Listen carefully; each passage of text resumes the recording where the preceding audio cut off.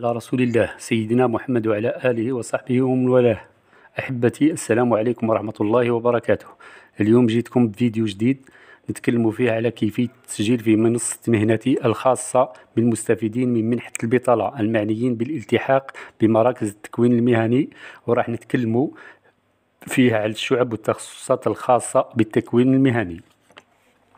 أولا قبل ما نتكلموا على التخصصات نهضروا شوية على الشروط الخاصة بالتكوين. واحد مدة التكوين تكون من ثلاثة إلى ستة أشهر كما قلنا في الفيديو السابق. أثناء هذه المدة يستفيد المتربص من منحة من المنحة بغيت نمدها كملاحظة فقط.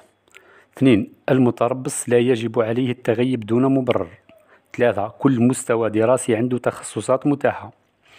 يتم إرسال أسماء المستفيدين من المنحة من مديريات التشغيل إلى مديريات التكوين المهني وذلك للالتحاق بمراكز التكوين لمباشرة التربص وذلك كل يوم الخامس من كل شهر. أما عن الشعب والتخصصات المتاحة للمعنيين كما هو موضح في الصورة في الفيديو. هذا دليل التكوين التأهيلي الأولي أو التكوينات التأهيلية الأولية.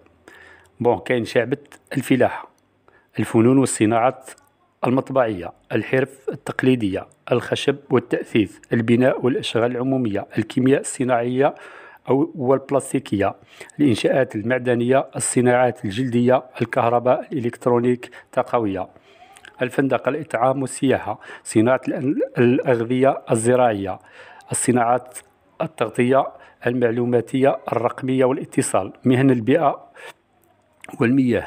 ميكانيك المحركات والآلات تقنيات للإدارة والتسيير تقنيات السمع البصري النسيج والألبسة. شعب وكل شعبة من الشعب عندها تخصصات كما نلاحظوا. وفي هذا الفيديو ما نقدروش نشرحوا كل كل تخصصات الشعب. اخترنا شعبة الحرف التقليدية. واش فيها من تخصصات؟ راح نقراو مع بعض.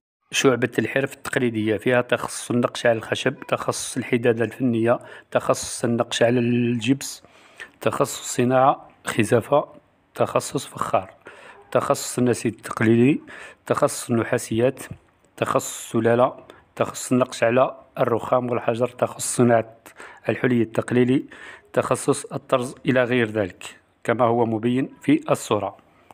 عند إرسال استدعاء للمستفيد من المنحة يجب عليه التواصل مع المؤسسات التكوينية في أجل أقصى 72 ساعة وفي حالة عدم الالتحاق يبلغ المترشح باستدعاء يبلغ المترشح باستدعاء ثاني وفي حالة عدم الاستجابة لهذا الاستدعاء بعد 48 ساعة تلغى منه المنحة وليكن في علم المستفيدين أن, أن وكالات التشغيل لن تضمن مناصب عمل لكل المستفيدين لأنها تتماشى وسوق العمل.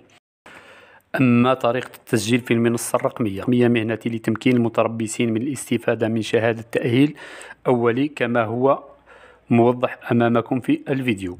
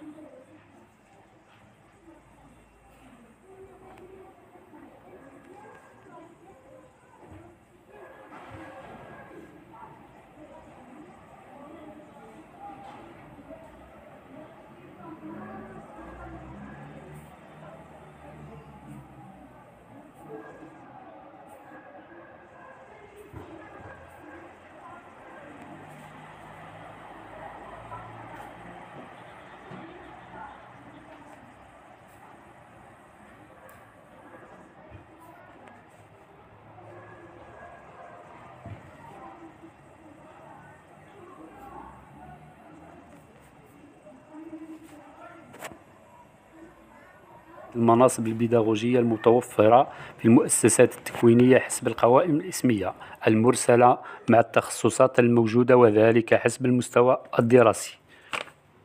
في الأخير لا تنسوا الاشتراك في القناة والضغط على زر الاشتراك ليصلكم كل جديد. وفي الأخير ما بقى لي غير نقول لكم سلام.